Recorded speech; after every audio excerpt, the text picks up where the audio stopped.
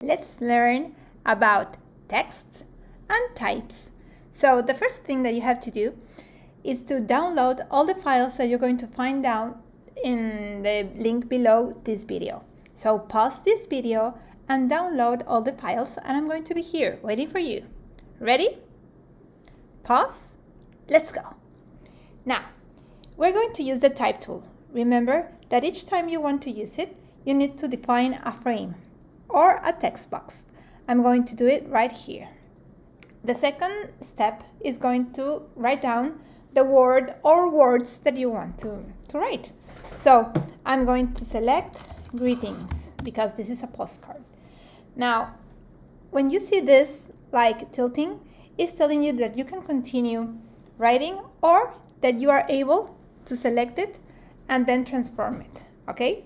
The O below is telling me that this font is an open type font. It means that it can be uh, used in Mac and PC. The second step is going to be to understand what is this frame. Well, this frame is going to tell me, for example, if I want to rotate the text in a specific angle, you just have to come to the corner. If you press and move, for example, the corners, you're going to be able to transform and edit the size of the frame. That means that it's going to start here and it's going to end here. And the one that we have right here is going to tell me that all the text that you see is inside or placed inside this, um, this frame. Okay, so what are we going to do? As this is a frame, I am not able to see any characteristic of the type, right? So if I want to edit, I have to double click it so I can have it selected. Now I have the option to change the font, the size, and for example, the alignment. If I don't like to use the top menu, you can use the one you have at the right, like I do.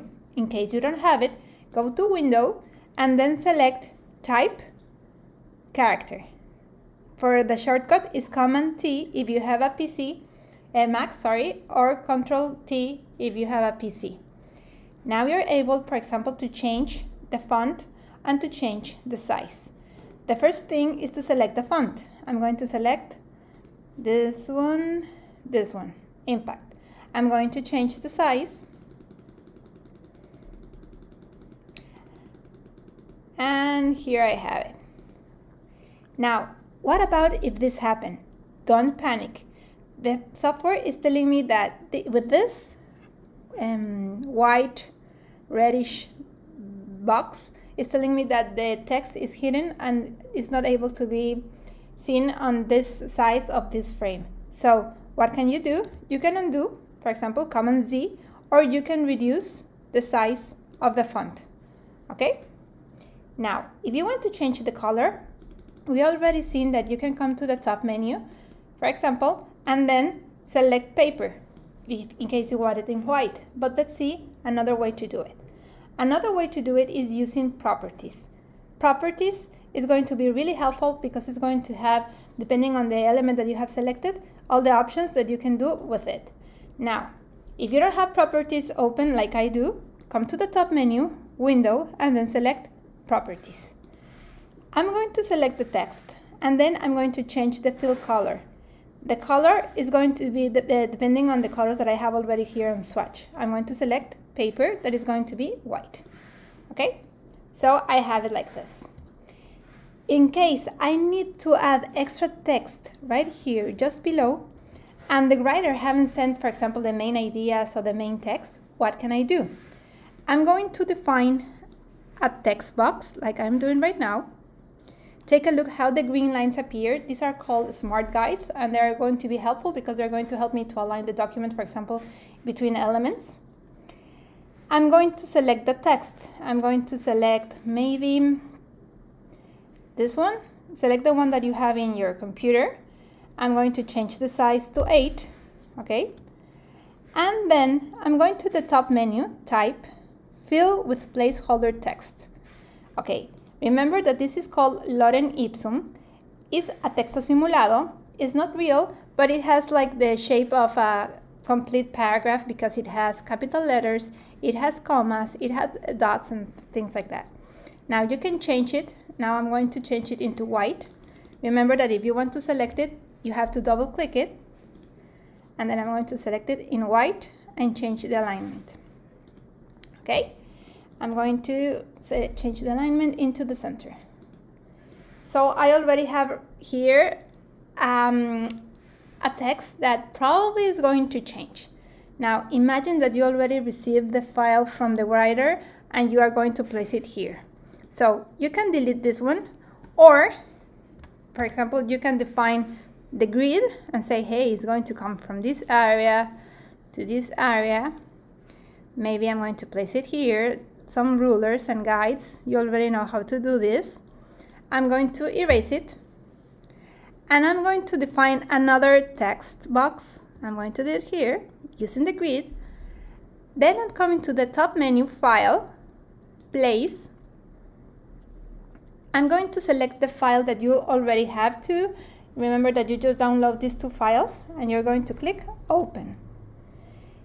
The information that you're going to have here belongs to the file that you have in Word. That means that it's going to keep the characteristics that you have in Word but you are going to be able to change it to the size and to the format of the um, font that you need. For example, in case of 10, I'm going to put it in 6 or 8. Let's see. I believe that this one is going to be fine. Now, I'm going to be able to change and do a specific format to this text.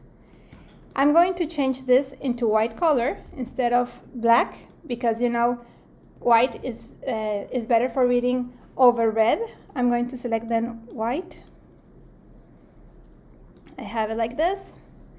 And I want to find out how can I change and edit the separation that I have between lines, for example, or how can I adapt the words. So I'm going to move something um, in the character window. Please open it. The first step is that first you have to define at least six. Five, I believe, is, is too small for us to read it, okay? The first box is for defining the size. The second box, the one that you have right here, is for, for defining the leading. Leading is the distance between two lines. You can make it smaller. When you have a smaller number, you're going to get this. If you have a higher number, you're going to make them separate, okay? and they usually have the auto option. In my case, I believe it's going to be 8, it's going to look better. But that's my personal taste. Please select the number that you believe is better, okay? What we have here is called kerning. Kerning is the separation that you have between words. And we have tracking. Tracking is the separation that you have between the letters and the words. Let's see an example. Um, how about if I want to put the African proverb right here at the top? What should I do? Well, I'm going to select all the text. I'm coming to the tracking area. And if I want it to fit to the top, I'm going to start from the lower numbers, minus 5. Hmm, you see that it goes to the top. Minus 10, and here you have it. All the letters are going to get together let me get closer so you can see the difference. This is minus 10 and this is 0. Let's see, minus 10 and 0. They are more separated. So tracking is going to help me to put them a little bit closer and it's going to help me, for example, in this case, to reduce the quantity of lines. So it was minus 10. How about if I use not negative numbers? Well, it's going to do the opposite. It's going to separate the distance between the words and the letters, and I'm going to have something like this. So the most common way of using it, tracking, is this too. Okay? It has to be easy to read. Remember, text is for reading. Now, if I already have it like this, remember that you can adapt it to the frame that you already made, so I can make it maybe a little bit um, bigger, the size of, um, of the font. So you already know how to use the tracking, the size, and the leading. What is this? Let me select African proverb. If you change 100% to this, you're changing the, the looks, the scale in the vertical position of the word or the type, okay? Usually you're going to deform the text. It's not exactly like the best thing to do, but you have it here available in case you need to use it, okay? For having the perfect shape is always 100%. Now, what is the following uh, options that we have below? Well, we have this one. Um, it's more easy if you are using, for example, formulas or if you are going to have um, a note at the end of a paragraph. And uh, let's see, I'm going to write down here number three. So you can see you can move it from the line and you can even reduce it. For example, I'm going to put it here like this. Okay, this is how you can do it. And the other way that we can uh, transform a text, I'm going to select African proverb again, is the angle. You can change the angle.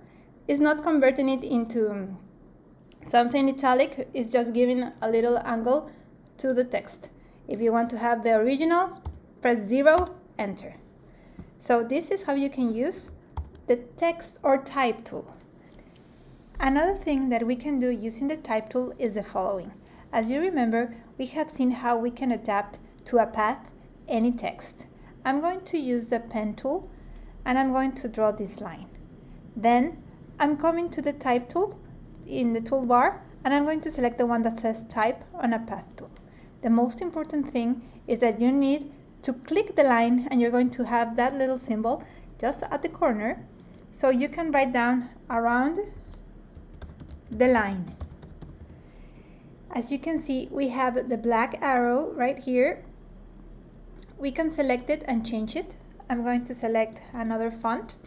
I'm going to select Arial, for example, around the line. And if I don't want to have this text, you know, over this line because the line, I, I don't like it, just come to the top menu and place the non line on the stroke okay around the line I'm going to put it right here